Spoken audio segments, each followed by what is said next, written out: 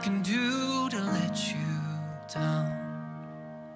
It doesn't take a trophy to make you proud. And I'll never be more loved than I am.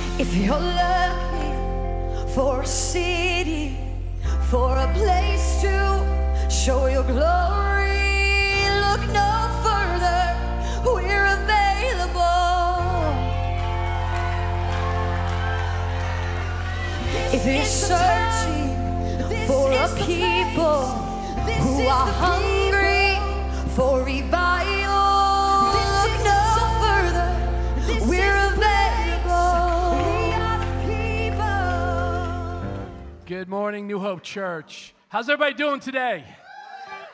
All right, let me read from Psalm 97. Listen to this. The Lord reigns. Let the earth be glad. Let the distant shores rejoice. Clouds and thick darkness surround him. Righteousness and judge, justice are the foundation of his throne. Fire goes before him and consumes his foes on every side. His lightning lights up the world. The earth sees and trembles. The mountains melt the wax before like wax before the Lord, before the Lord of all the earth. The heavens proclaim his righteousness, and all people see his glory. We are about to worship that God. Isn't that exciting? Let that stir in your heart. Come on, let's do it. Stand up. Bless our God. He's so good. He's so good. Don't stop.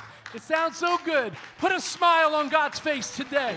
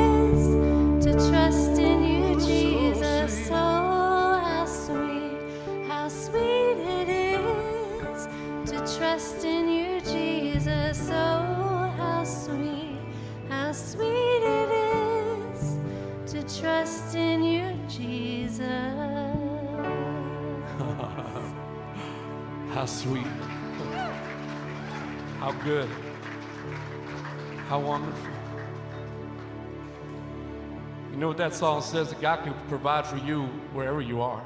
He could bring honey from a rock, He could bring water from stone. Our God can do anything. And you know what? He has already moved heaven and hell for you. What's going to stop Him now from doing everything else that we need and that? Because of His love, anyway. Because of His love.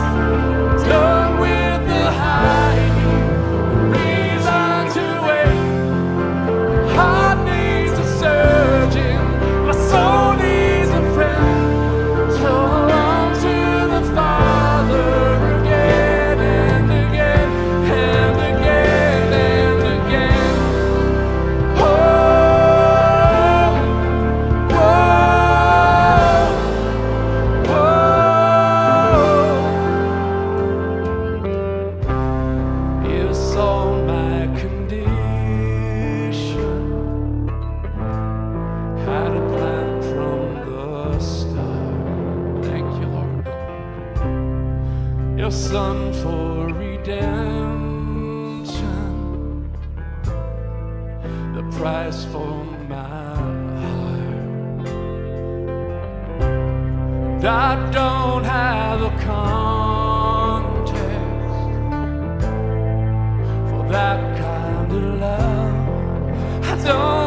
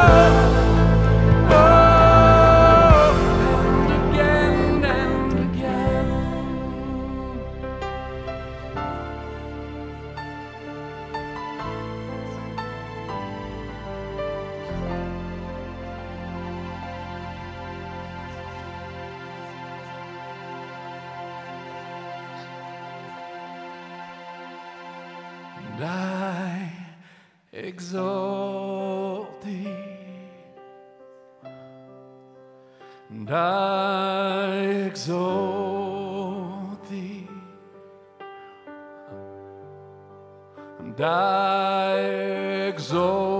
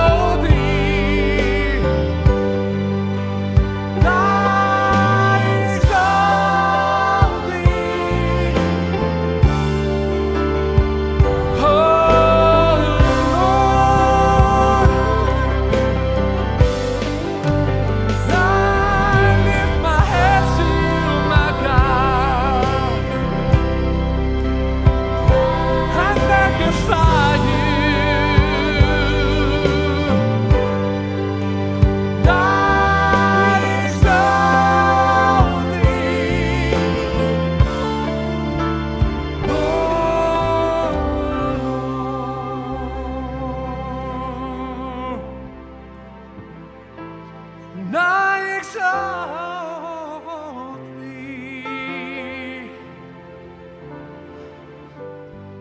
Oh, no.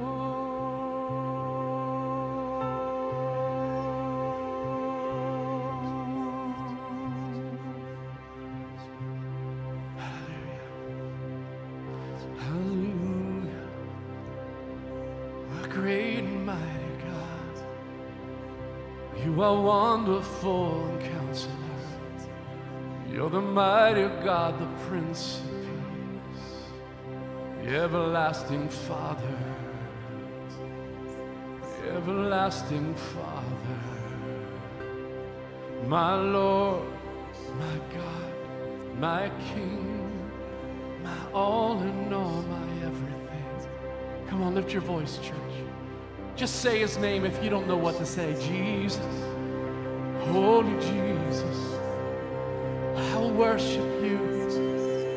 I exalt you, my God, my King, my Lord. You're my passion, O oh God. You're my strength, O oh Lord. You're my refuge, O oh God. You're my Lord. You're the love of my life. Hallelujah. Hallelujah. Praise God. Praise God. Praise God praise God, praise God, praise God, praise God, praise God, praise God, praise God, praise God. You know, there's times where you get to a place where that's just kind of where you want to stay for a while. You know what I'm talking about? The Lord's just meeting you there, and it's like that's a really cool, cool place to be. So, what I'm going to do, I've kind of found my place here this morning. And I'm going to concede my time and ask Pastor Jon to sing that last song a little bit longer, just so I can enjoy it and you all can join in too if you like. There's a place in worship. There's no pla- there's no better place to go. There's there's there's no dessert to that. That's the whole buffet. You are in the presence of the Almighty. So let's stay there a bit longer if we can. I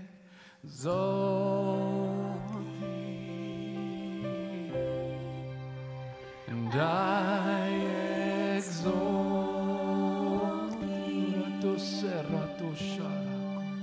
and I exalt thee, oh Lord. Do you mean that today? Can you lift your hands and surrender to Him and worship? I exalt die.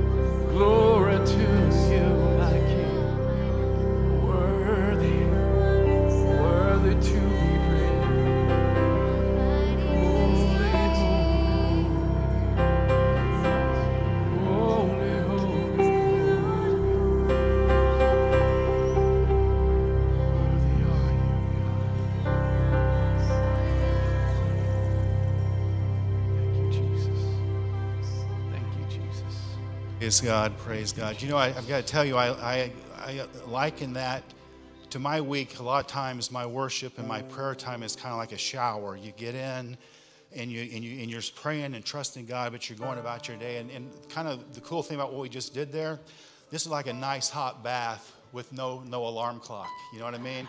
You just in the presence of God, just shut everything off, and just enjoy His presence. And we live in a time where it's so difficult to get the head space in the room to do that because there's so many input, in, too many messages coming in that are contrary to what we know to be true.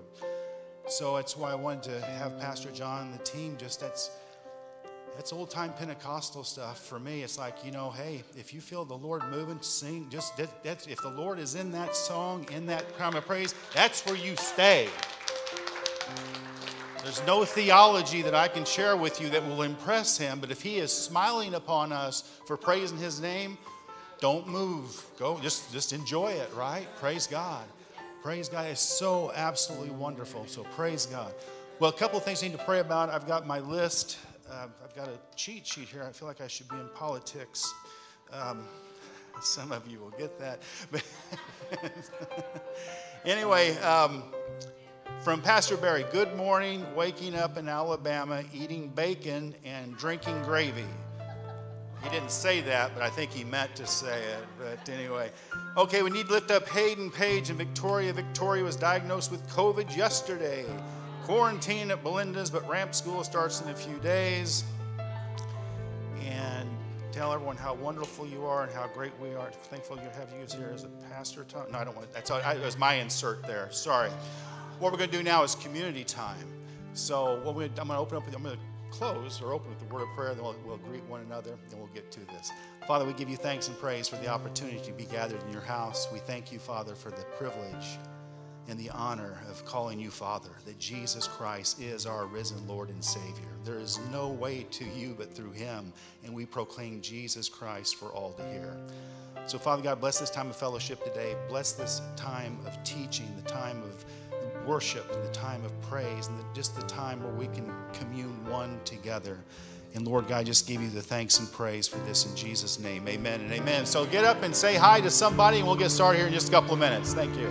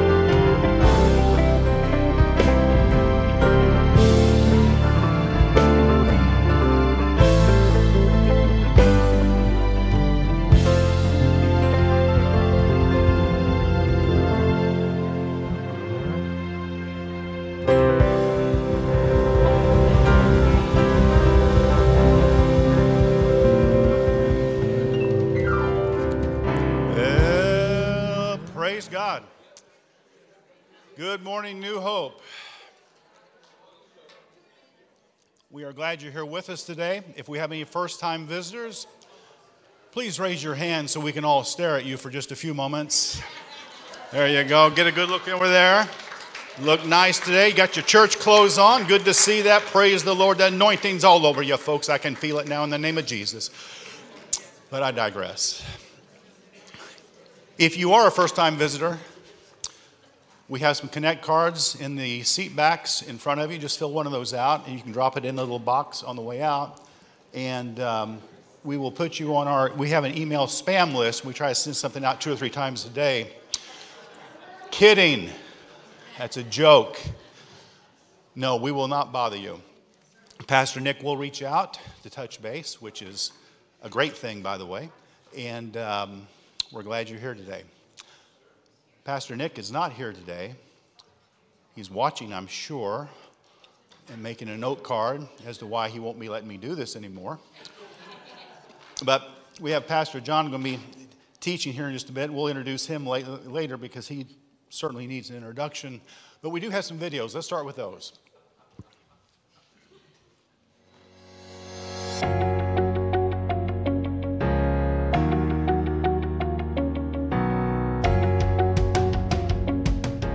Hello, sisters and brothers. Eleni here, back with your weekly announcements. We are so happy you could join us here at New Hope Church in Palm Harbor. Here's what we've got going on in our church. Midweek Bible study will continue with Pastor Tom and Lori in the sanctuary on Wednesdays at 7, while the youth group continues to meet in the Forge building. Pastor Nick will be holding another membership workshop on Saturday, September 3rd from 9 a.m. to 1 p.m., where he will be telling us the heart and the mission of the church. If you would like to attend, please fill out a Connect card with the word membership, and childcare is available for those in need with pre registration only. On Sunday, September 4th, after service, we will be having our annual Labor Day picnic, so make sure that you're dressed and ready to have some fun. We will be providing hot dogs and hamburgers, so if anyone would like to bring sides, and then also we will have a water slide for the kids and our annual cornhole tournament. As always, thank you for your continuous offerings. You can always give online, via mail, using the donation boxes at the sanctuary doors, or using the QR code with your smartphone. Thank you so much for joining me and have a blessed day.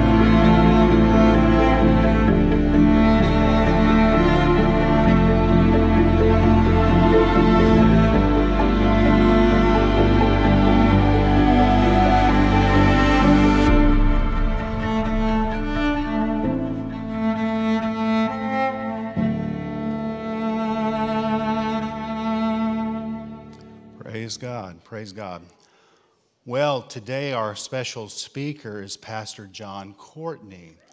Pastor Jon is, is we have very much, we have a lot in common, Jon and I. We both used to have more hair. We both used to weigh less. We've both been in ministry a long time. We're both happily married. That's right. And we both have children that keep us on our knees far more than we're comfortable with. Here's what I say about Jon Courtney. I don't say this about a lot of people because I don't know them well enough to say that. But of course, he's- a Christian. We all know that.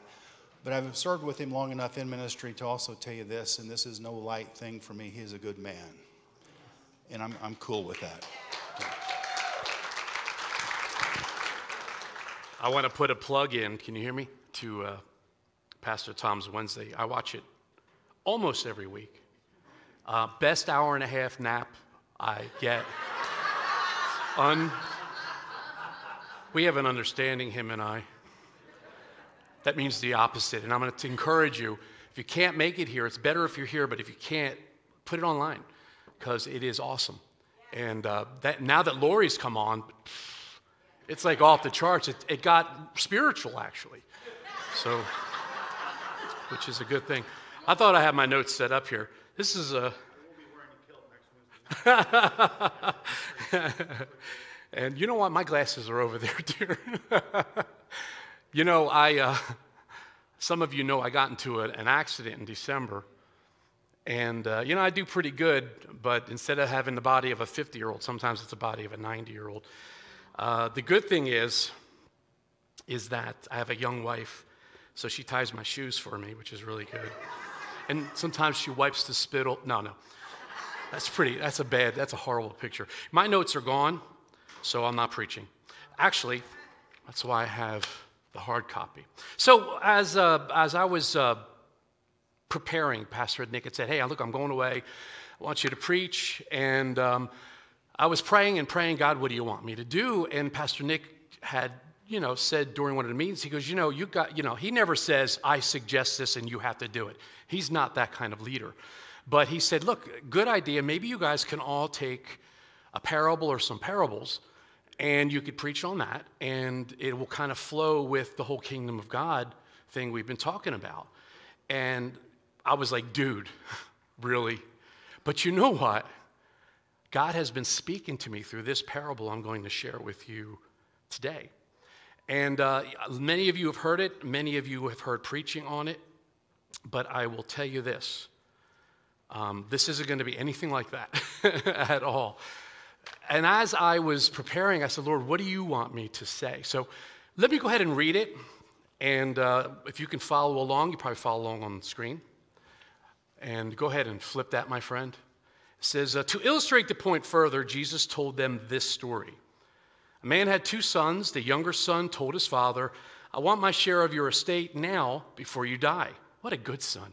So his father agreed to divide his wealth between his, him and his sons. And I want you to remember that. He divided his wealth between his sons. A few days later, this younger son, who had a plan, obviously, packed all his belongings and moved to a distant land. And there he wasted all his money in wild living. About the time this, his money ran out, now you understand this, this wasn't a few days. This, this could have been several months. It could have been actually years. It could have been quite a long time. A great famine swept over the land and he began to starve.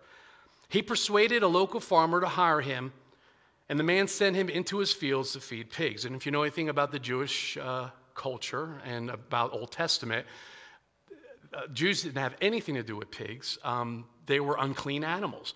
You couldn't even touch a pig. You had nothing to do with this animal because it was considered unclean.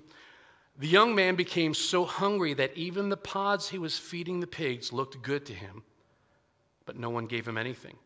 When he finally came to his senses, he said to himself, At home, even the hired servants have food enough to spare, and here I am dying of hunger. I will go home to my father, and I will say, Father, I have sinned against both heaven and you, and I am no longer worthy of being called your son. Please take me on as a hired servant. So he returned home to his father. And while he was still a long way off, his father saw him coming. Filled with love and compassion, he ran to his son, embraced him, and kissed him. His son said to him, Father, I have sinned against both you and heaven, and I am no longer worthy of being called your son. But his father said to his servants, Quick, bring the finest robe in the house and put it on him. Get him a ring for his finger and sandals for his feet, and kill the calf we have been fattening. We must celebrate with a feast, for this son of mine was dead, and now he has returned to life. He was lost, and now he is found. So the party began. Now I'm going to continue with the second son, because this story is not about one person, it's about three.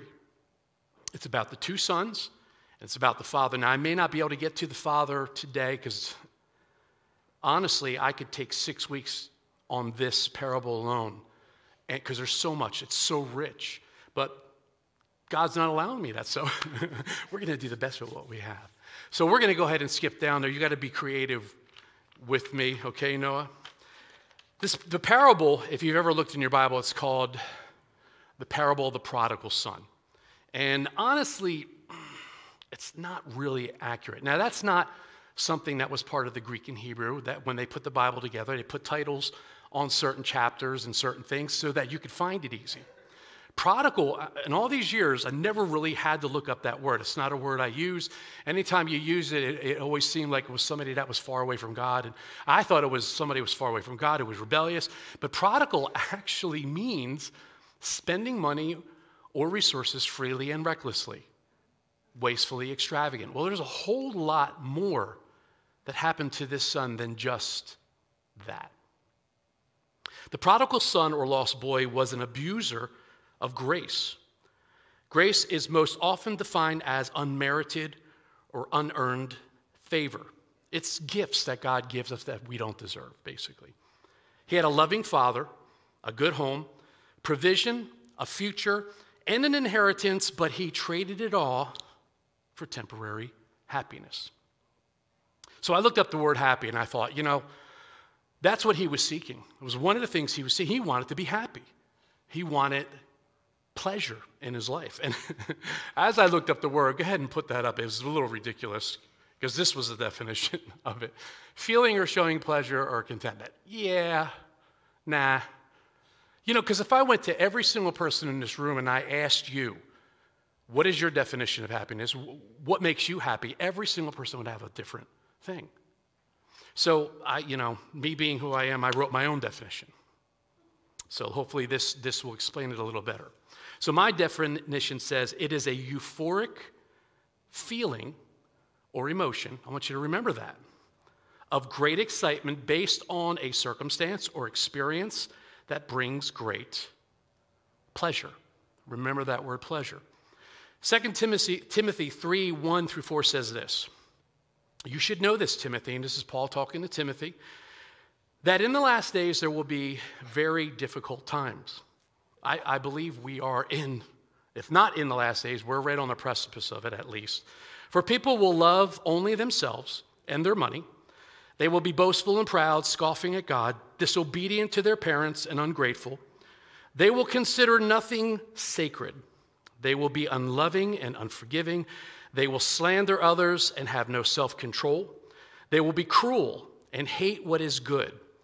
They will betray their friends, be reckless, be puffed up with pride, and love pleasure rather than God. So I must tell you this that this creeped into the church to a certain degree. And everybody in this room, me, especially Pastor Tom, is guilty of this to some degree. Luke, I love this guy, that's all we, this is our relationship. Luke 8 14 says this The seeds that fell, now he's talking about the seeds from the parable. If you remember, the seeds fell uh, and the birds ate it up, and the seeds fell on rock and it grew up and then just it didn't have any root. And the seed means the word of God. So that's, we hear the word of God constantly. We hear the word of God in this place. We should be hearing the word of God, reading the word of God on a daily basis. These seeds, this word that fell among the thorns, represents those who hear the message, but all too quickly the message is crowded out by the cares and riches and pleasures of this life. And so they never grow into maturity. So I'm going to ask you guys a question. I want you to think about it. I do want to hear some answers, but don't just say yes or no. Want you say yes because of this or no because of this. Is it God's will for you to be happy and have pleasure? I didn't, what, I, what did I say? No, you didn't listen. I didn't want to hear yes. Why? No, I'm, I'm messing with you. Why? Why? Why?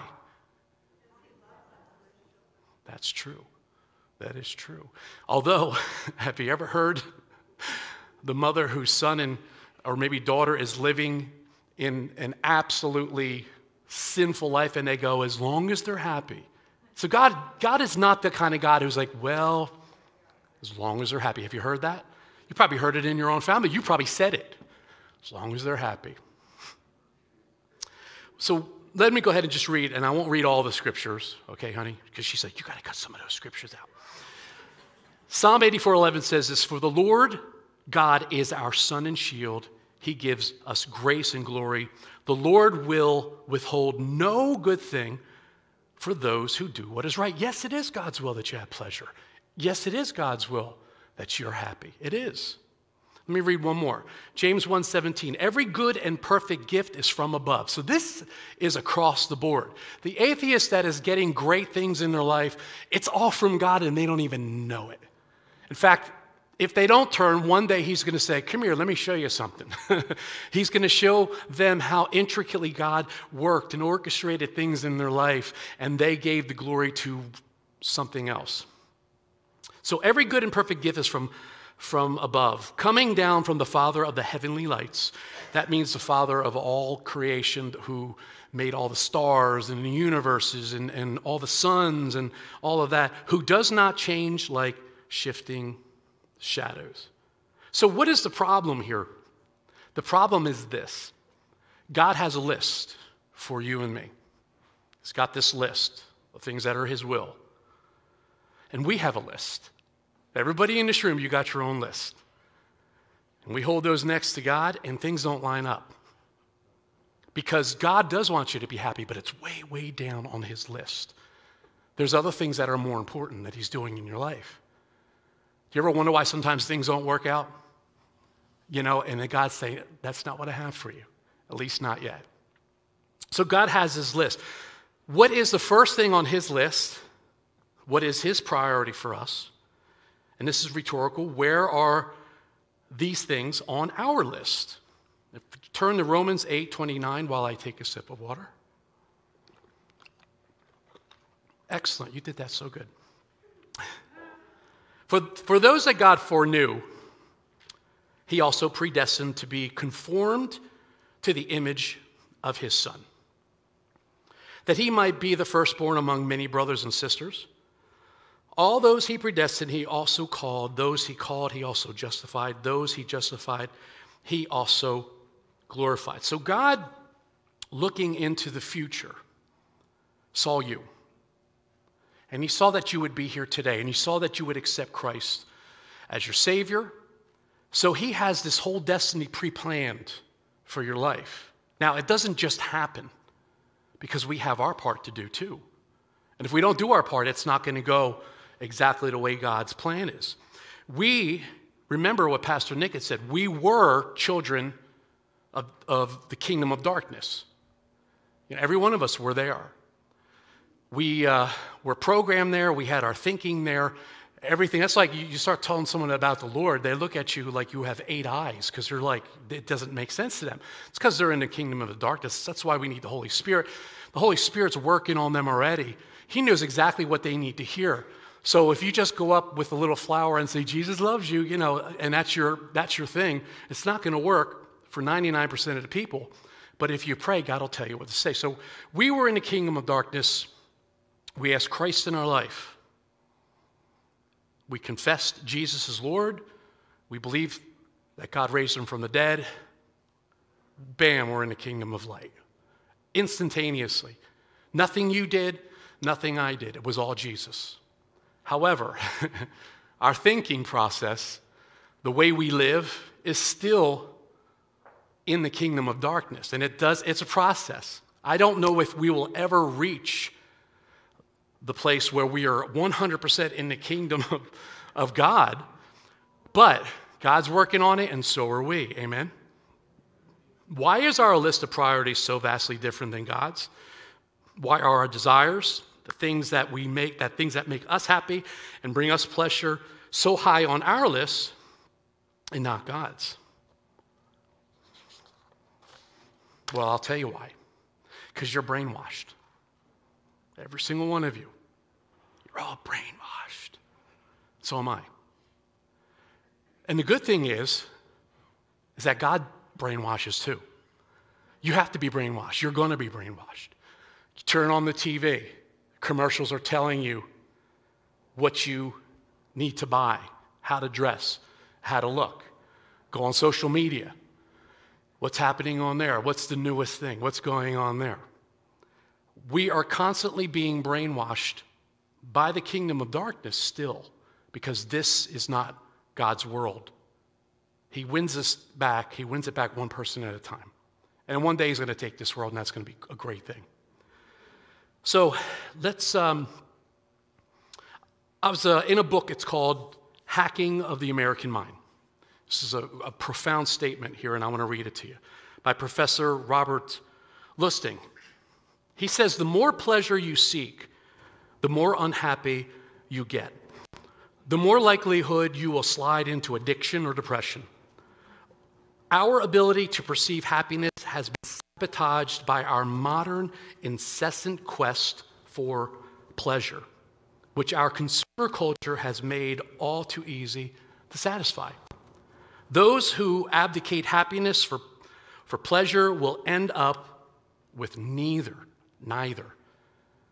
What it is, is we, even as Christians, we, you know, when I was first saved, I remember, and I felt this, I had an empty hole. I was just a young guy, but I felt that emptiness. And when Jesus came in, he, it was in the shape of him, and he filled that up. But we still have these voids that we're trying to fill. And we're trying to fill it, instead of going to God, we're trying to fill it with happiness and pleasure and the things that we like. Some of them are good, some of them are not so good. But we continually do this. And, and what this says, and I agree wholeheartedly, is that the more you try to feed that with things that aren't God, the more empty, the emptier you're going to be. To a point where that's, that's where, why people can go into addiction and they can go further from God and they can be just unsatisfied. I can't get no satisfaction. You know, kind of a world. And this is, I'm talking to Christians here, I'm talking to us. Romans 12:2 says this, "Do not conform to the pattern of this world, but be transformed by the renewing of your mind. Then you will be able to test and approve what God's will is, his good, pleasing, and perfect will." God brainwashes us. He does, if you put yourself in the right position. And what does that mean? How does he do that? Well, before I read the next scripture, in this world, the closest relationship you are supposed to have. Now, this world has distorted it. The enemy has done everything to break marriages up, but it's a marriage between a husband and wife. It should be the most intimate relationship you have or will ever have. And I'm not going to ask how many people have been divorced because, again, that's a product of being in this world. But it is an intimate relationship, and God likens it unto our relationship with Jesus. Jesus being the husband, and us being the bride or the, the, the wife. It says in, the, in, in Ephesians 5 25 to 27, Husbands, love your wives, just as Christ loved the church and gave himself up for her, to make her holy, cleansing her by the washing with the water through the word. You want to deprogram, is that the right word? Unprogram yourself. It's the Word of God that does it. As you read the Word of God, it washes your mind, it cleanses it. There are facilitated pathways. You know what that is? Do you ever see in a, a, mountain when it rains and the water goes down a certain path and it goes deeper and deeper? We have those in our minds. So when we're angry, we go down these certain, why are you going down that road? We go down these certain roads when things happen in our lives. And many of them were from the kingdom of darkness. So, what does Jesus do when we do the word? He fills in the valleys and makes them level. You know that scripture? He brings the mountaintops down. He makes level ground in your mind so you can actually start understanding the word of God. And the things that used to bring you pleasure, you realize how empty they are and were. And the things of God began to be pleasurable for you. And it is a process. It's something you need to do. And reading the word is the key. God knows exactly what you need when you need it. He knows what you want, when it's best for you, and He designed in you desire, and He knows these things far better than anyone else, even you, especially you. Sometimes when I'm married, you know, being married, I think Gina knows me better than me because there's times she'll be like, no, you don't want that. You know, no, you want this is what you this is what you need. And I look at her like, who are you? Because she, she's right. She's husbands, listen to your wives. She's right. But God knows us even better. Jeremiah 1:5 says this: Before I formed you in the womb, I knew you. Before you were born, I set you apart. Now that's a great scripture for a reason why abortion's wrong. First of all, God formed us in, in the womb. God did it. God formed us. And, you know, when they take that life, they're taking a life that God is forming and has formed. But He formed you, He knows every part about you. You're trying to find yourself, you're trying to discover yourself, you're trying to find your way in this world. You're doing it on your own. It's like, it's, it's like years ago, I drove in California along, and I don't know the name of the highway. Do you know the name of the highway? It's along the Pacific coast. I heard eight different, but, but you're all right. I don't know. Anyway, whatever it was called, it was amazing. And it was one of the most treacherous roads I'd ever been on. I mean, you're going around these curves and you're, and you're like thousands of feet up, and there's the ocean. It's beautiful. And there were times, I remember driving and thinking, man, I just, I got behind this person that was going like so slow. And I just thought, you know, if I could just quickly, and I mean, just as I was thinking that, a big truck came right around the end. That would have been the end of me, you know? And the Lord said, This is life, Jon. You're on this road to life. You have no idea what's ahead of you. You have no idea what's coming. And there's times when it looks clear to go, and you hear me say no. And you do it anyway. Or there's times when you're like, there's no way I'm going. And the Lord says, it's time. Go. This is the time. He said, it's almost like if I'm someone up in a helicopter, you know, 500 feet, 1,000 feet above you, and I could see everything in both directions. You see, God knows you. He knows exactly what you need. He knows, He formed you. He created you the way you are. And He knows exactly what to do. Joy is the standard, the base, the platform by which we live. Now, let me explain joy. In fact, I, I'm going to have to read Psalm 16. Sorry, but I'm trying to skip scripture to get to this. You will show me the way of life, granting me the joy of your presence and the pleasures of living with you forever. So, what is joy? Again, I looked it up. Did I put that thing up there? It was just like all there, just this a feeling of great pleasure and happiness. Well, I will tell you, joy is not a feeling. It's not. It can move your emotions, it can move your feelings. So, I wrote my own definition again. Sorry. So, joy is more than a feeling, like this, the Boston song. More than a feeling. Okay. Joy is more than a feeling or an emotion. It is the unwavering and unshakable knowledge that the God of all creation is with you always, has given you his favor, and will see you through every circumstance that arises in life with the very best and successful outcome with you in mind. And the great thing about that is, yes, it can stir your emotions, but it's always there. You always have that. It's like a rock. Whatever you're going through, and, and I'm not just speaking out the side of my mouth. Some of you know that I had some terrible tragedies in my life. And I was, I was married before and I became a widower. And being in the ministry as many years, I've seen people go through, I've seen people lose their pets and walk away from God. And I'm not, I love my pets, but you know, no pet dying is going to take me away from Jesus. But when you're holding the person that's most important in your life and you're holding their dead body, you kind of kind of makes you think, to say the least. But it was joy. I wasn't smiling, I wasn't happy, it didn't move me to emotions, but I felt the steadfast God, like an anchor. If you see a cup up here with an anchor on it, that's like Pastor Nick's thing. That's his, that's why he's got a tattoo at an anchor, because God is our anchor. It's an anchor that holds you steady during the greatest storm or storms that can come your way. Joy is a strong part of that anchor. In fact, in Ephesians 3 20 to 21 says, Now to him who was able to do immeasurably more than we all ask or imagine, according to his power that is working within us, to him be the glory in the church and in Christ through all generations forever and ever. And true joy can only come from the persona of Jesus. People talk about joy in this world, but they're talking about happiness and emotions. Joy does not fluctuate. Joy is a steady, steady road. In fact, in John, I'm only going to read one of these, okay, buddy? John 15, 11 says, I have told you these things so that you will be filled with joy. Yes, your joy will overflow. Jesus has given each one of us a measure of joy. When you receive Christ, you receive a lot of stuff. He puts this measure of joy in you, this steadfast rock.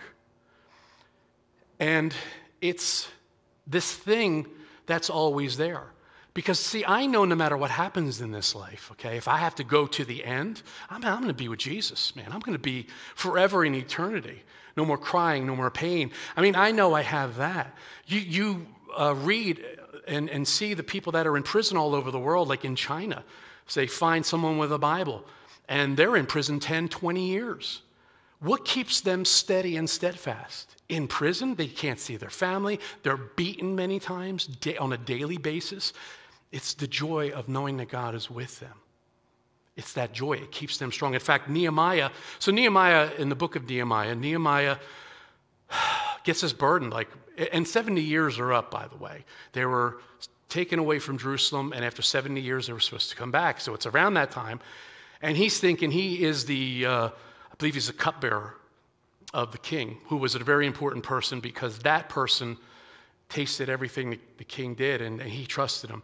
And the king looks at him and says, You know, you look depressed. What's, what's going on? And he says, King, you know, I, I long for my country. It's, it's my home. It's where I belong. It's where I should be going.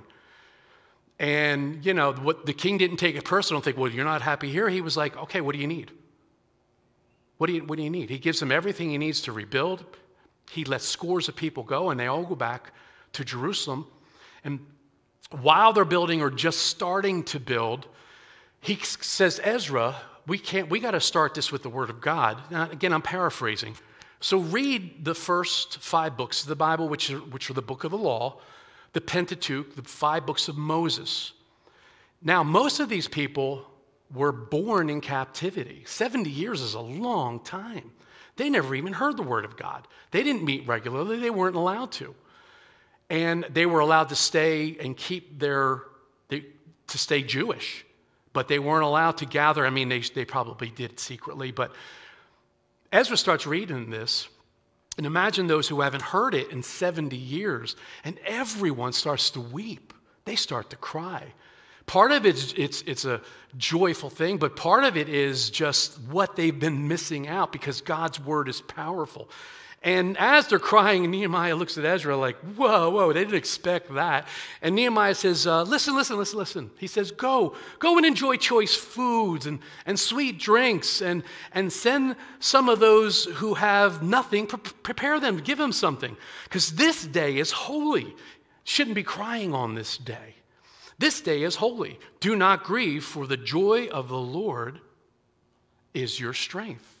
It's our strength. It's the one thing that's going to hold us through all those dark times.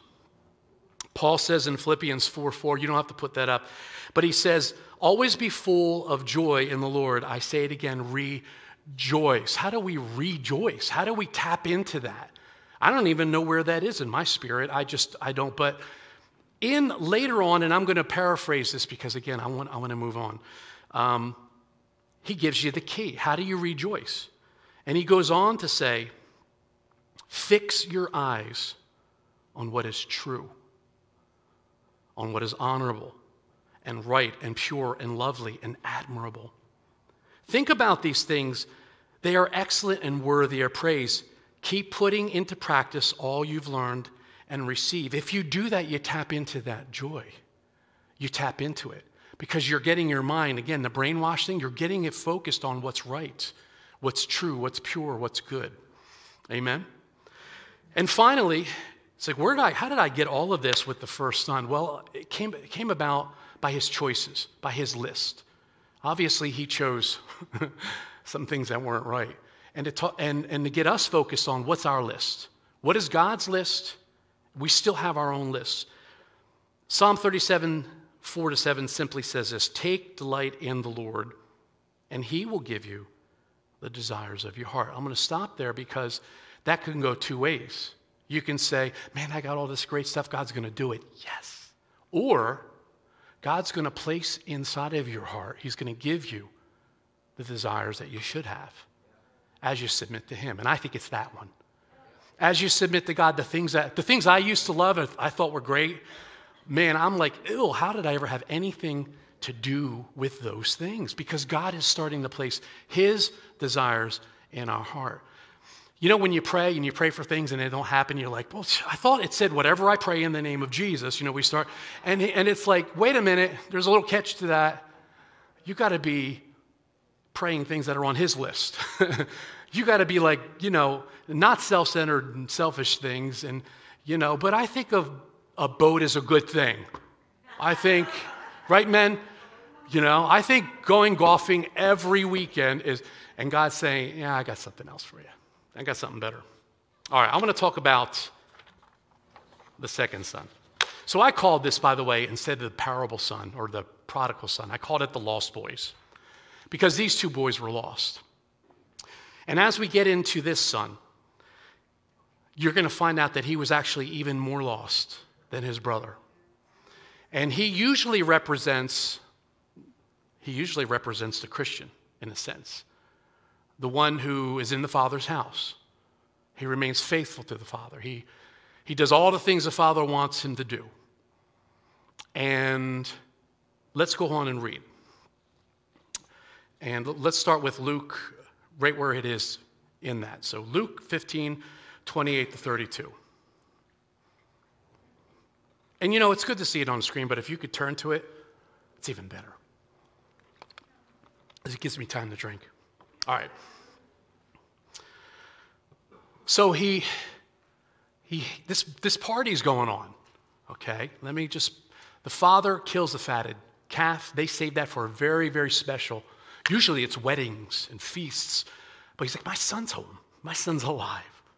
And I want to stop because I told you I'm not going to say a lot about the father, but those of you that have sons and daughters that aren't exactly in the Lord, or maybe they're way out, I want to share something with you.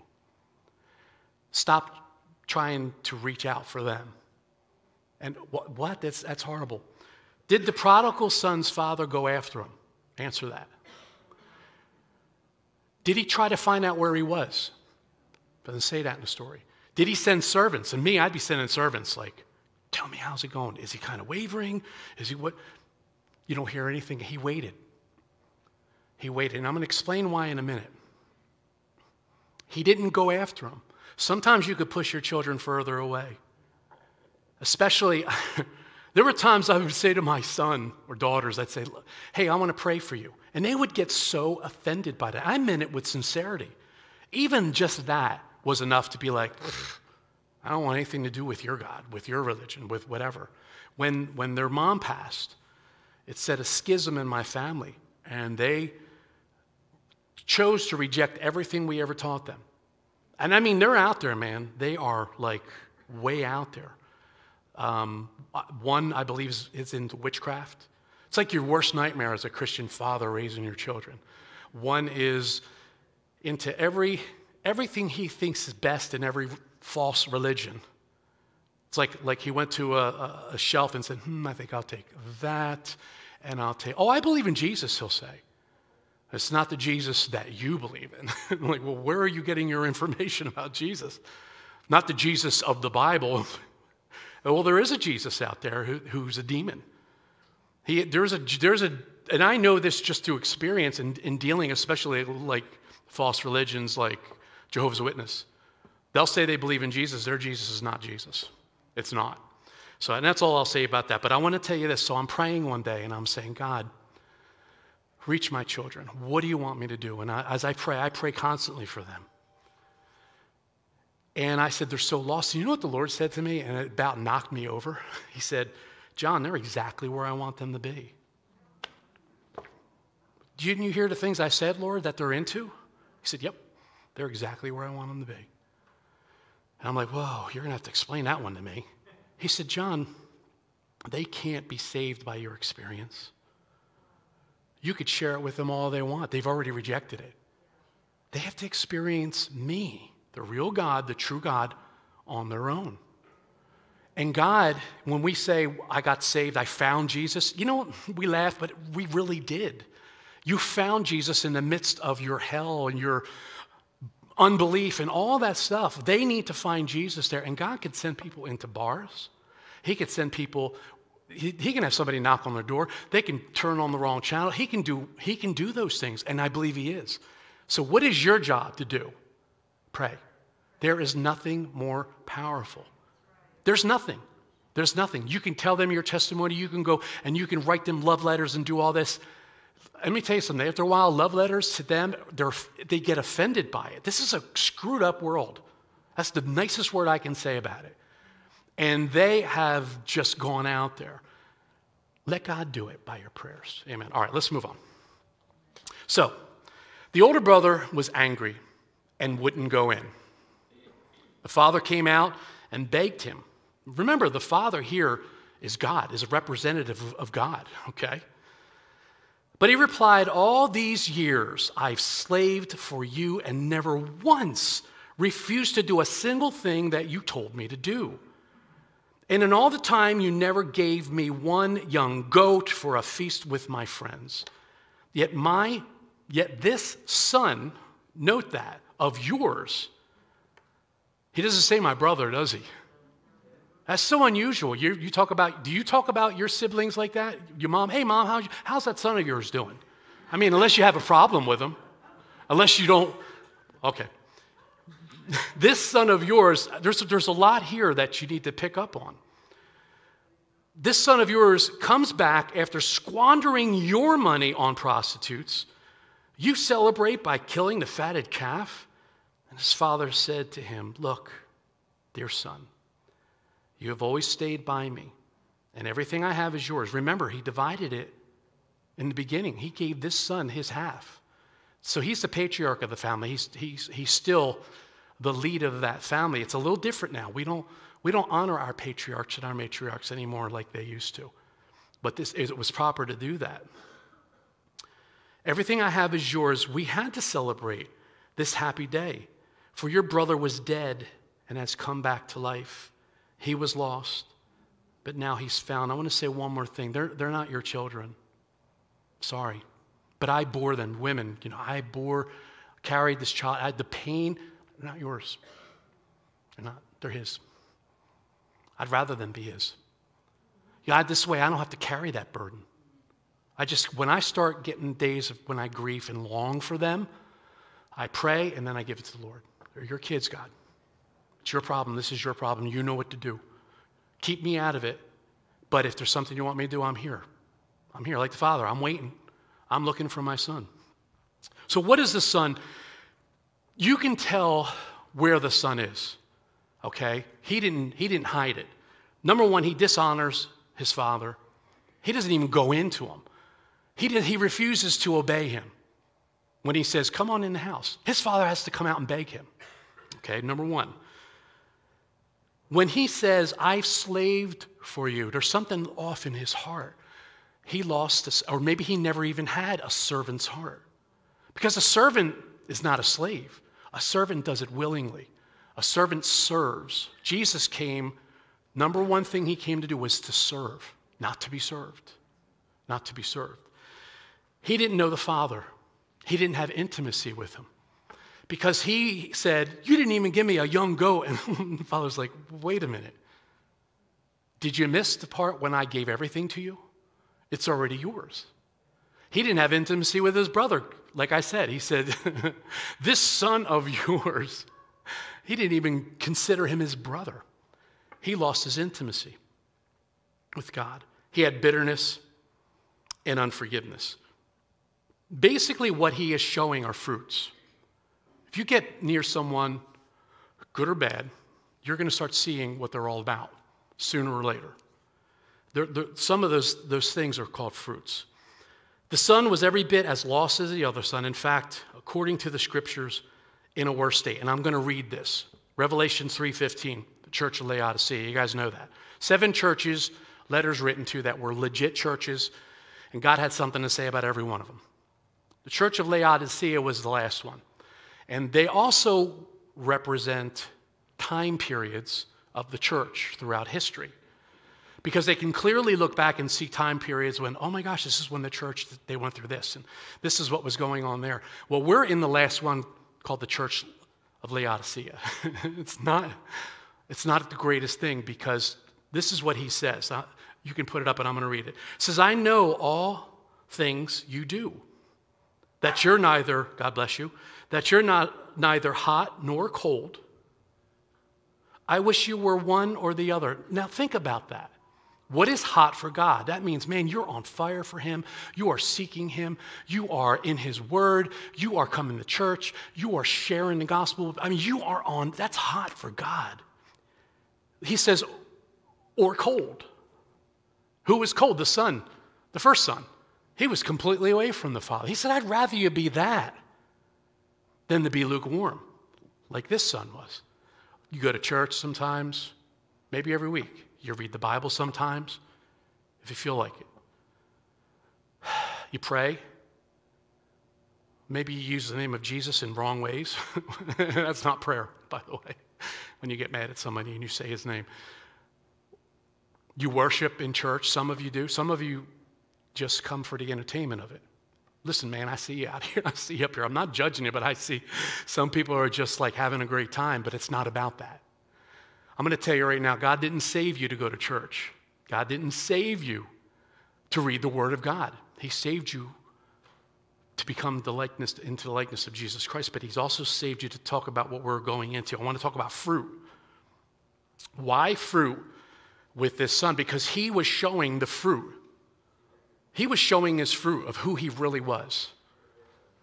I mean, to, to talk to, father, to the Father like he, I mean, the way he was, to talk to God the way he was in a sense. He was showing his fruit. Luke 6 43 to 45 says this A good tree can produce bad fruit, and a bad tree, uh, I'm sorry, a good tree can't produce bad fruit, and a bad tree can't produce good fruit. This is important. A tree is identified by its fruit. Figs are neither gathered uh, from thorn bushes, and grapes are not picked from bramble bushes. A good person produces good things from the treasures of a good heart, and the evil produces evil things from the treasure of an evil heart. What you say flows from what is in your heart. So that fruit is, is the word identified is proof. What is it proof of? Okay, what is it? That's, that's, I'm, you don't have to answer that. So, what fruit is, is the outward expression of being saved. Now, remember, it's the evidence of that. You're, you're saved by grace. You're saved the moment you sincerely ask Christ in your heart, Lord, make your Lord. I believe God raised you from the dead. That very second. It had nothing to do with you. You just, by faith, said that in your heart. And guess what God did? He came in. Okay? So, now, how can people tell that you're saved? How can God tell that you're saved? God knows everything. It's by fruit. And there's many kinds of fruit. Many kinds. Matthew 3 8 says, Prove by the way you live that you have repented of your sins and turned to God. That the, the phrase, the way you live, is carpin, which actually means fruit. Prove by your fruit that you have repented of your sins and turned to God. John 15, 5 says, Yes, I am the vine, you are the branches. Those who remain in me and I in them will produce much fruit, for apart from me, you can do nothing. So, fruit is, it can be the outward expression of the Holy Spirit. They're, they're the fruits of the Spirit. You've heard of that. That's not what this is talking about, though. Because the fruits of the Spirit is, or, is, they're, they're little nuggets from the Holy Spirit for you when you receive the Holy Spirit that help you to walk out your, your walk. And what they are is love, joy, it's a little bit more joy from the Holy Spirit there, peace, patience, kindness, goodness, and faithfulness. These are things that help you to move on in God, that strengthen you. They're a personal thing. Now, people can see if you're kind and if you're patient, but that's not the fruit we're talking about here, what Jesus is talking about in the vine. Galatians 5 22 23 says this by the Holy by, hmm, excuse me, but the Holy Spirit produces his, or I already read that, I'm so sorry. Let's go to Ephesians 2.10. So, for we are God's handiwork created, this is awesome. For we are God's handiwork, and I like to stop there because the Latin word for that is to me the best. It means magnum opus. You're God's magnum opus. What's that mean? It sounds like a disease. Magnum opus means you're his greatest work, his greatest creation. You, not the angels. You wonder why one of the reasons Satan fell away? It was jealousy. it was jealousy. When God be, shared with them that he was going to create man and they're going to be, they're your greatest work.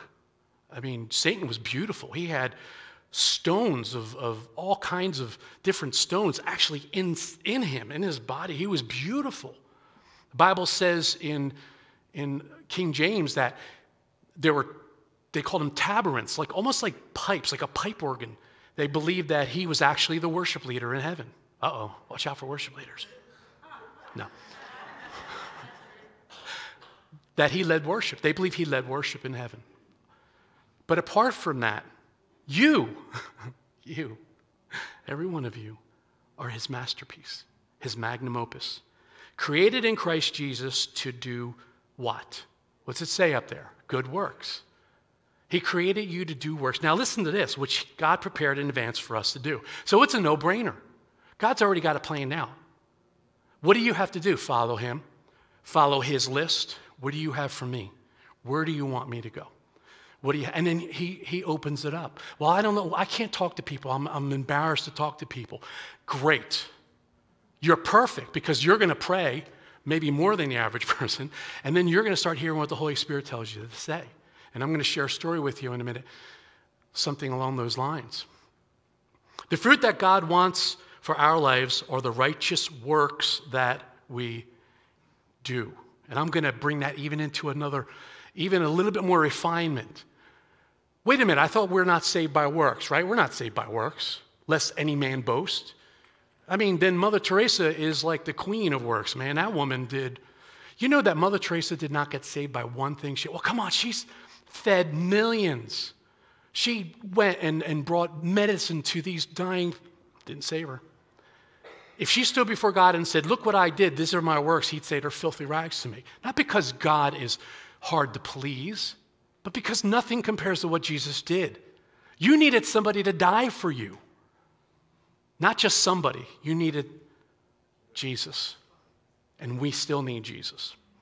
So it's, it's, it's not the righteous works. We are not saved by works, but they are a byproduct, listen, a result of being saved. How important is this to the Lord? All right, we're going to get, it's going to get a little tough here, but you all need to listen because God is doing a work today and He wants to change you. He wants you to say, enough of this, this Christian ease stuff. We're going to get serious now because if you don't, you're not going to make it in this world to where it's going. We're not going to make it unless we get this right. John 15, 1 to 2 says, I am the true vine and my Father is the gardener. I'm going to tell you a parable about that in a second. He cuts off every branch in me that bears no fruit. What is, say that again? He cuts off every branch in me. These are people that are in Christ, they're in Him, they're in the vine, that bears no fruit. While every branch that does bear fruit, He prunes so that it can bear even more fruit. You know, when I had my tragedy, one of the things I said was, God, I mean, I served you. I started rehearsing some of the things, the fruit that I had. And the Lord said, this scripture, I'm pruning you, son. I'm pruning you. It's, you know, welcome to the ministry. Welcome to real Christianity. It's tough, it's hard. You got to do something. Coming in here and sitting in church isn't it. Reading the Bible is not it. Praying is not it. Worshiping is not it. Those are things you do for yourself. God's not up there like, oh, look what they're doing for me. He's not like that. You're doing that for yourself. You're doing that to strengthen yourself, to gird yourself up. We do what we do to equip you, to help you get girded up, to help you get strong. Why? So you can go home and go to work nine to five and go to sleep and have your dinners and say you love your wife and spouse. No, so that you can go and have fruit. It goes on further to say in John 15, 7 to 8, if you remain in me and my words remain in you, ask whatever you wish, and it will be done for you. This is to my Father's glory that you bear fruit, showing that what? You're my disciples. So you get saved. You give your heart to Christ. It's sincere. It's real, man. You feel Jesus. You know, your whole life. I was. I told you, I was 16 years old. I felt it. I know, but you want to, and I'm not bragging. You know what? I was watching 700 Club. I got saved watching that. If some of you watched it back in the day, you remember Ben Kinchlow? Love that man. He's the one, he's the one who led me to the Lord. And you know what he said? You've received Christ as your Savior, go tell somebody. And I'm like, okay. I got on the phone, I called my best friend, I called my girlfriend, I called some guy who said he was born again, because I was like, dude, I did it. Living, you know, and I, and you know what was amazing as I look back? I was quoting scripture. I'd never read the Bible. I was quoting scripture to these people because of the Holy, Holy Spirit was already using me. That's the first thing I did. I thought, that's what I'm supposed to do. After that, I got baptized, you know? So there's a parable in, in the Bible that, that kind of accentuates this. talks about the owner of the vineyard, that's the father. He comes to the vineyard, and he's got all this, he's got all kinds of trees and vines, and he goes up to one of them and he calls the gardener over. He says, Come here. The gardener represents Jesus. He says, I've been coming here for years to this tree. It's not producing any fruit. Cut it down. Cut it down, burn it, get rid of it, get it out of the garden. I don't even want to see it anymore. I'm paraphrasing. And Jesus, who lives to intercede for us, says, I'll tell you what, I'm going to dig around the roots. He wants to stir things, he's going to stir some things up in your life. I'm going to put some fertilizer in there. You know what fertilizer is? It's crap. Somebody said that?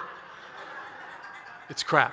Jesus is going to put crap in my life. Well, he's going to allow it if that's what it takes because he loves you and he wants you to produce fruit. He says, I'm going to do this, I'm going to trim it. If by this time next year, now that doesn't mean you have a year from this day. That means everybody's going to have their own time period where the Lord says, enough. Okay? By this time next year, if there is no fruit, I will personally cut it down myself. You know what we are? We're atomic bombs. Now, I'm not a physicist. In fact, I'm going to sound like an idiot trying to explain this, but basically, very, you could probably explain it, to Tom. This guy is brilliant. He is. He just, when he speaks sometimes, I'm like, where did he get that from? Must have been a book. You mean we actually have to read books? I, I go on my iPad. Never mind. An atomic bomb, what it does first, this is very simplistic, it implodes, means it actually explodes inward. Has something to do with the atoms and how they split the atoms, has something to do with all of that stuff which I don't know about. But if it doesn't implode, it's not going to explode. And the fact that it implodes makes it a greater explosion. This is what they've discovered. It makes it, it, you don't need a bomb the size of this block. You can have one the size of this table now because of the physics that they've learned, and it implodes. So we're Christians. We accept Christ. What do we do? We implode. Whew. Isn't it great? I mean it. There's such power there. We accept Christ. We ask Him into our hearts we start to walk and you have a problem and you start praying and all of a sudden God gets you through it. You know, all of these personal things, and they're all good. But very few Christians explode. You see, if you don't explode, you're completely missing. God didn't save you because He wanted to bless you. He didn't save you to take you out of your our messes. He'll do that. It's not why He saved you. Oh, they need they need some help down there. I'm going to save this guy. Then he can live the rest of his life living for himself, working out his own problems every day. He's reading the Bible. That's good. He's going to church. It's a good thing because he's getting stronger by doing that. Or she. He worships. Love the way he worships. He uh, does all of these things. But there's no fruit. There's no fruit. That's what the explosion is. That's how people know you're saved. You go to your neighbor who's a widow and bring her a meal, or a widower. you know, most men don't cook at all, they're just eating frozen garbage. You bring them a meal and you Just start off there, especially if they're a neighbor, you can do that ongoing. And then one day, they're going to be like, Why are you being so nice to me? Why are you being so good? I'm glad you asked. And you can start sharing your faith with them. See, that's fruit. The fruit God wants, the greatest fruit He wants, it's people. It's people. So, works doesn't save you, but it is an outward sign that you're saved. You can't have one without the other. You really can't. God gives His grace, He gives you time. Let him grow up. Let him be on the milk of the word. Let him, let him get stronger, you know. But it's time. It's, it's time. It's time to produce fruit. In the story of the end of the age, it says, but Matthew 25, 31 to 46, you know the story. And this story, story always scared me. And it should scare you. Jesus said, But when the Son of Man comes in his glory, and all the angels with him, then he will sit upon his glorious throne, the white throne judgment. All the nations will be gathered in his presence, and he will separate the people as shepherds separate the sheep from the goats. He will place the sheep at his right hand and the goats at his left. Now, I personally believe this isn't everyone that was ever created. I believe these, these are Christians, all of them. They are all people that said, Lord, Lord. This is what I believe. Because there's another scripture that where people said, He said, just because you said, Lord, not everyone who says, Lord, Lord. And I'm going to explain why that is in a minute, are going to come in. Were they not sincere? I bet they were. I bet they wept. I bet they repented. I bet they said, Lord, Lord. And he says, Then the king will say to those on his right, Come, you who are blessed of my Father, inherit the kingdom prepared for you from the creation of the world. So it hasn't been 2,000 years that God's been preparing a place for you, has it? From the creation of the world, God has been, been preparing a place for us. For I was hungry, and you fed me. I was thirsty, and you gave me a drink. I was a stranger, and you invited me in to your home. I was naked, and you gave me clothing. I was sick, and you cared for me, and I was in prison, and you visited me. Or we can say, He turned to them and He said, Those of you that have accepted Jesus as your Savior, confessed Him as Lord, believed He raised Him from the dead. Why doesn't He say that? Isn't that how we're saved? Because there has to be fruit, guys. There has to be fruit. And the church, that's where the church is. They call us a sleeping giant. I saw a picture the other day as I was researching and writing. And I don't know how pastor did this. He must have had a church of, there was thousands. And he was, he probably went in and okay, everyone act like you're all falling asleep. And they were, I mean, thousands all the way to the back row, not even smiling. They were serious. It was like, you know, snoring and sleeping. And it's a pic, that's, that's where the church is. We're asleep. Keith Green says, asleep in the light. There's, there's, there's words from that song that say somebody, and I'm, again, I'm paraphrasing, like somebody comes to your door, and, and in a sense, they're asking you for help, and you say, God bless you, be at peace. And you close the door. And it says, all heaven weeps. Because remember the, the works, the things that he has prepared for you? That was one of them.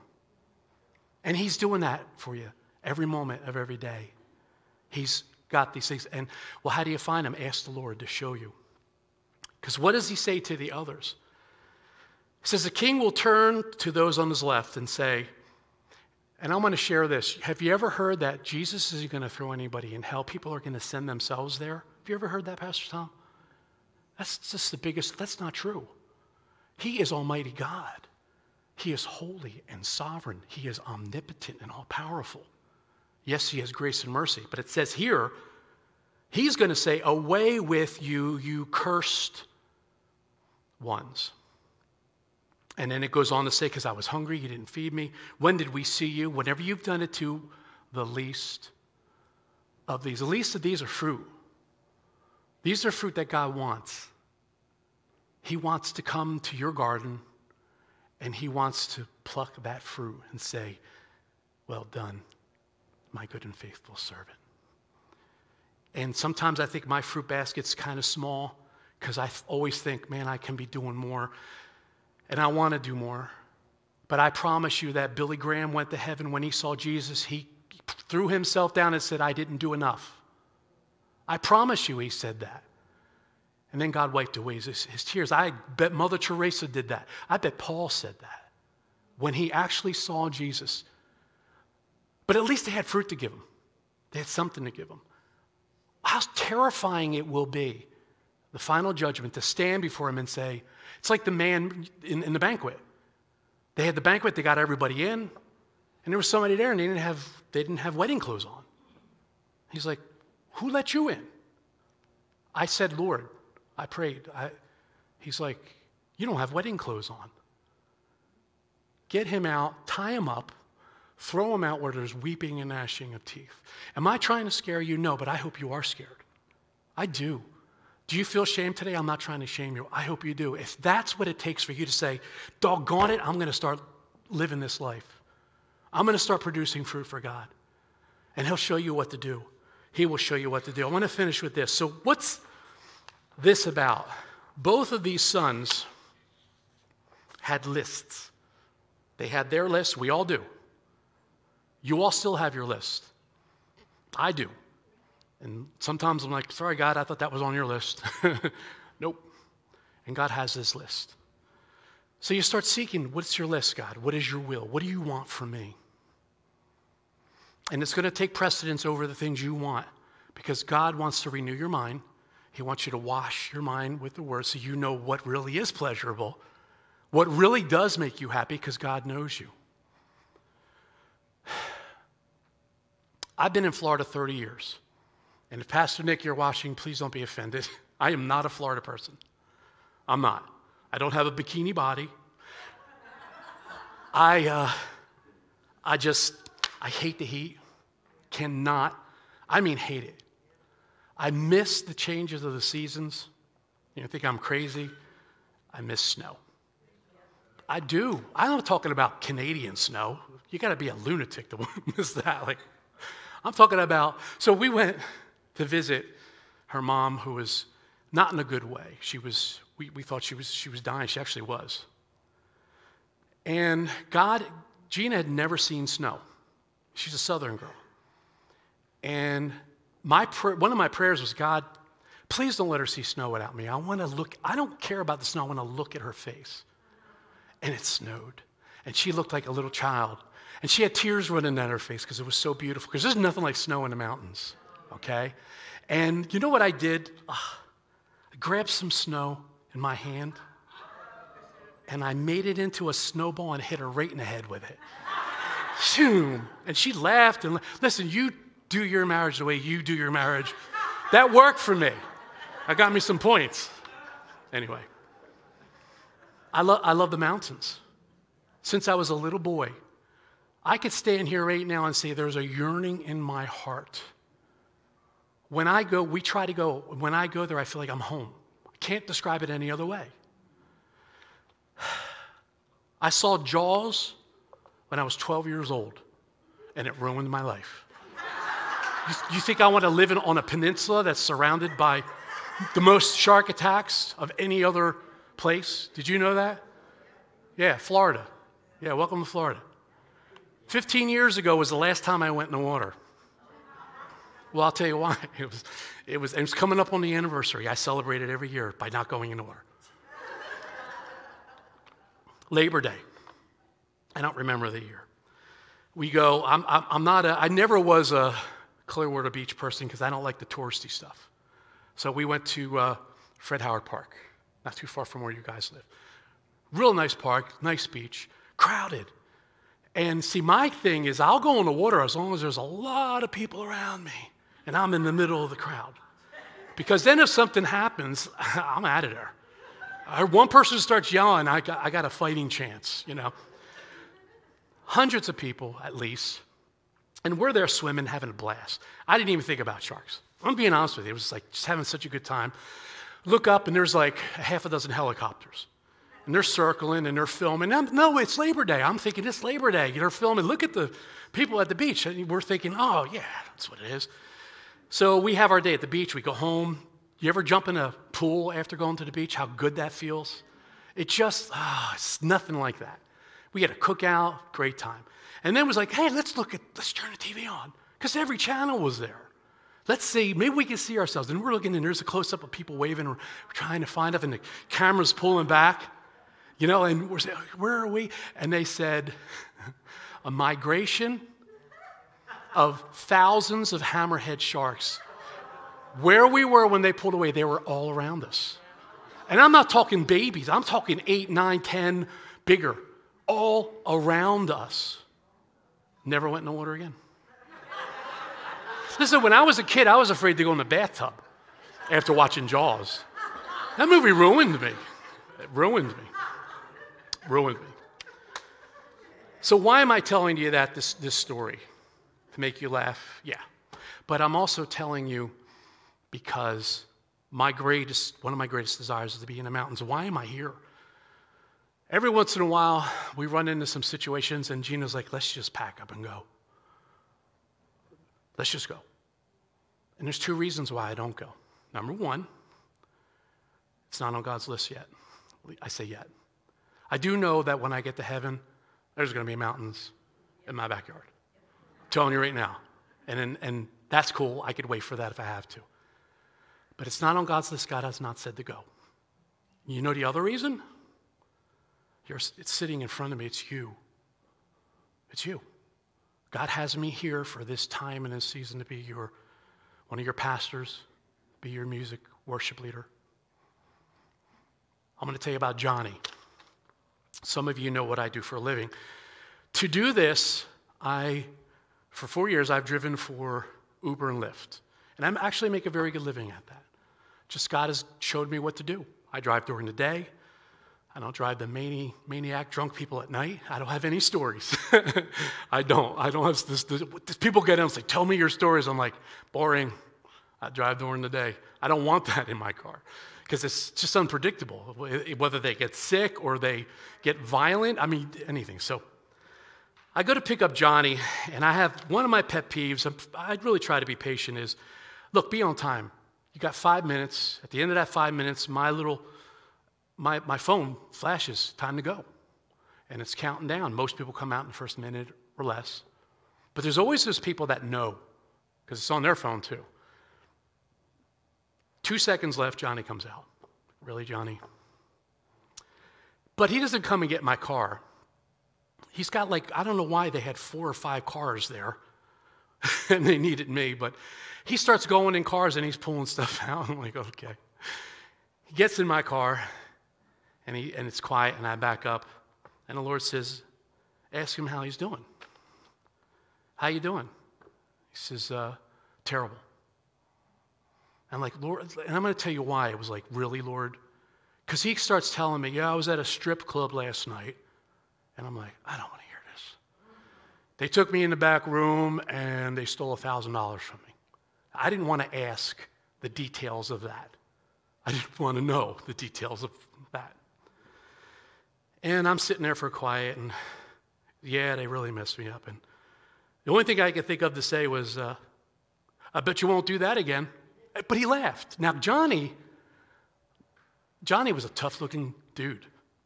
He was a white guy. He had his hair corn rolled. My hair would be corn rolled if I had hair.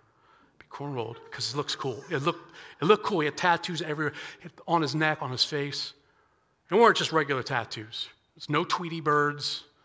They were like skulls, blood, you know. It was like, like gang stuff. And he was a tough looking guy. And I'm also praying for myself, Lord, please don't let this be my last day on earth. Help me not to say anything offensive to Johnny. Help me to get him where he needs to go. So we're going, and I just said, You know, Johnny, I'm, I'm sorry about that. Nobody deserves to lose money like that. He said, My whole life has just been hell. It's just been hell. And then he shares, You know, I, I, I just got out of prison two weeks ago. Thus, the reason why he was in the strip joint. Men, what's wrong with you? Oh, and, uh, and what's wrong with us? And he's, he says, uh, My best friend in the world was my dad. And someone killed him right in front of me. Four shots, they shot him right in the chest. And he said, I took revenge. Now, he was in, in prison for over two years, so I, I don't know if he murdered someone unless they, they, I don't know, unless they downgraded it to manslaughter. I have no idea. But he messed somebody up enough to be put in, in, in jail, in prison. And he's telling me the story, and I'm like praying, God, what do you want me to say? I want to minister to this man. He needs you. And the Lord says, and I start arguing with the Holy Spirit. Because he says to me, I'm like, really? Really? He says, tell them that's why God is the one who's supposed to take revenge. I'm like, that sounds like I'm like shaming him for that. And Lord said, say it. All right. Hey, Johnny, the Bible says that God is the one that takes revenge. And he says, Man, you're right. You are right. I said, You want to know why, Johnny? First of all, he, wants to spare, he wanted to spare you from all of this stuff you've just been through. But also, nobody can take revenge like God. I'd rather have, I'd rather be put in a Chinese prison than stand before a holy God. And these people will not get away with it.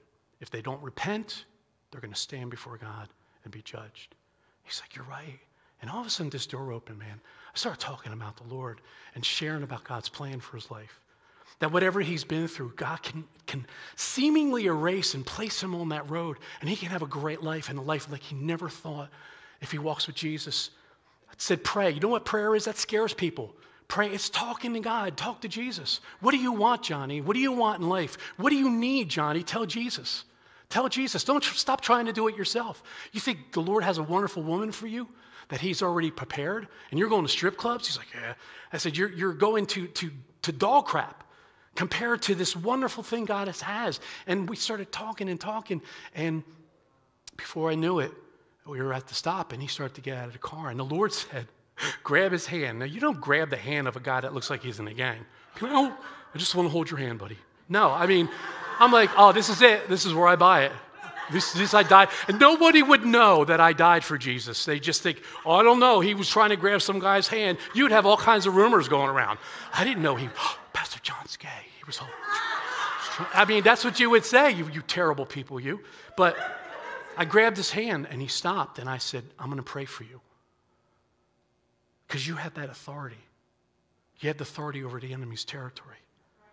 And I began to pray. I, I don't even know what I prayed. I just prayed and prayed and prayed, prayed that he would find the Lord, he would accept the Lord, he would receive the Lord. When I was done, Johnny, this hardened guy, was crying like a little child, uncontrollably. And he kept saying, I needed this. I needed this. Where would Johnny be if I chose my list? If I was in the mountains right now, sitting on the back porch with my wife, drinking a cup of coffee, that sounds wonderful. It's good. It's a good thing. Where would Johnny be? Would God have brought someone else? I can't tell you he would have. I want to think that, but I don't know. What does God have planned? He's got things planned. Jonathan, he's got things planned for you. John, he's got things planned. Whatever you've been through, he's got, he's got something planned for you every day of your life. And if you start going into his plan, if you start saying, I want your list, Lord, he's going to start revealing it. And it's going to be easy, like me talking to Johnny. I don't look like a gang guy. I mean, I got earrings, but that's that's because I'm a musician. I'm not a gang guy. How do I talk to somebody like that? People get in, I don't know. I have every walk of life come in my car. You name it. They've been in my car from transvestites to transgenders to Jewish people to Muslims. And God has opened the door for me to witness to every one of them. Why? Because I'm bold? No. You don't know me. I know I seem out, like I'm outward. I'm not. If it was up to me, I'd be at home right now watching the Three Stooges. I just, I am. I just, I, I'm a homebody. I'm like, why I want to go to the mountains? I just want a cabin somewhere and just get away from society. But here's the thing He's got those for you. And I just want to remind you of something that happened a few weeks ago when Pastor Green came. He made an offer. And this is what he said He said, Who here will say, like Isaiah, Here am I, send me? And he said, I'm not talking about going to Africa. He showed those, some of those pictures are horrible. I'm not talking about India. I'm, I'll be done in just a second. He said, Who here will say, Here am I? And nobody raised their hand. Like three people. And then he said, Well, let me explain. I'm not talking about Africa. I'm talking about in your sphere of influence, in your home, in your neighborhood, in your workplace, in your school, there. Who will say, Here am I, send me? And maybe three or four more people raised their hands. And I'm like, this, You guys are missing it because that's fruit. And if you don't have fruit, you, you, you ain't going. Not because fruit saves you, because fruit is the outward expression of this glorious salvation that we have. I want everyone to close their eyes right now. And ushers, don't, or and nobody moving. I'm not going to ask anybody to come up here. I'm going to ask you to do something. If you would say today, Here am I, send me, Lord. Send me to the people in my influence. Send me to the people that I have in mind. Send me there, start there. If you would say that, I'm, I'm, gonna, I'm not, don't raise your hand. I want you to stand up right where you are. Stand up and say, Yes, here am I, send me. If that's you, say, Here am I, send me. It's okay if you don't stand. That's all right. God's dealing with some things in your life. Maybe you're newly saved. Maybe you're not understanding all this, but I want you to look around now. This is how it's, this is the church. This is, G, uh, uh, Pastor Nick says, go be the church. This is going to be the church.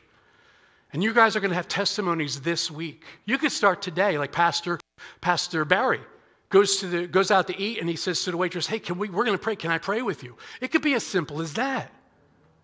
It could be as simple as that. Father, thank you for the men and women in this room, every one of them. For those that have said, Here am I, send me. Lord, I pray that today, this week, God, you will reveal your plan to them. You'll be able to open it up and they'll be saying, I cannot believe what satisfaction this brings me to share the word, to share the gospel, to tell people about you, to clothe people who are naked, to give someone a cup of cold water. Bless them, Father. Lord, let this be their testimony of the church that the church is going to explode, Lord God, like an atomic bomb and spread everywhere. Father, do this in Jesus' name. We all agree and pray. Amen. It's late. I'm sorry, guys. I got you out late, but I, I, am sorry, but I'm not sorry. Let's, let's give the Lord praise offering. I want to hear testimonies. I want to hear it, man. Come on. You could do this. If ushers will come up, if you want to come up and pray for any reason, our ushers, our elders, our elders are up here. Sorry. I, no, no, this is what I wanted. God bless you guys.